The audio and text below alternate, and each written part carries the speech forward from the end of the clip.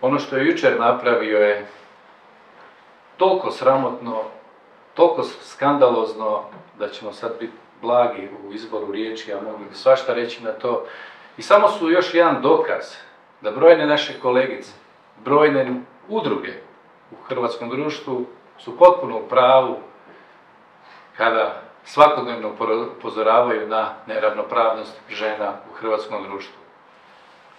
Način komunikacije gospodina Plenkovića prema našoj kolegici Mili Moralić sa N1 televizije, ali inače njegove komunikacije prema brojnim drugim našim kolegicama i kolegama je nedostojno funkciji koju obnaša.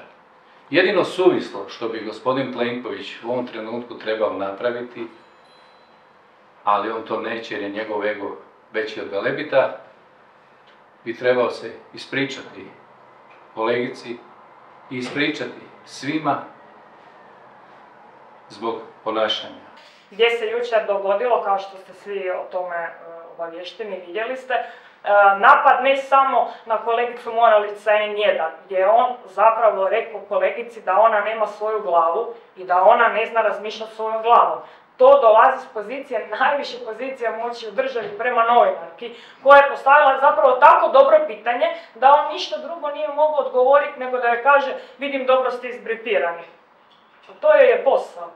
Posao je da dođe, da bude izbripirana, da zna temu e, koja je došla pitati, da vlada materijom i da postavi pitanje, nemoj da odgovori. Naravno, odgovor nismo opet dobili koliko god dobro pripremljeni novinari e, tamo dolaze.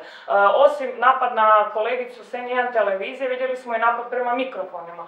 Tu bih voljela samo reći da su ti mikrofoni sredstva za rad novinara i novinarki i da su oni jedina linija, doslovno fizička crta koja dijeli u tom trenutku premijera i novinare i novinarke i da je taj fizički napad i dodatno vidjeli ste sve tuckanje po tim. Prvo je bio iskaz nemoći, ali to je već politička e, njegova e, situacija, a drugo je bio doslovno napad na sredstva za rad novinare i novinarke jer jedino gore od toga je doslovni fizički napad prema prema novinarima i novinarkama. E, za kraj bih samo voljela reći da je zapravo premijer Andrej Plenković sve ove godine zadnje četiri, zadnji mandat pogotovo, e, crta metu na, na čelo novinara i novinarki.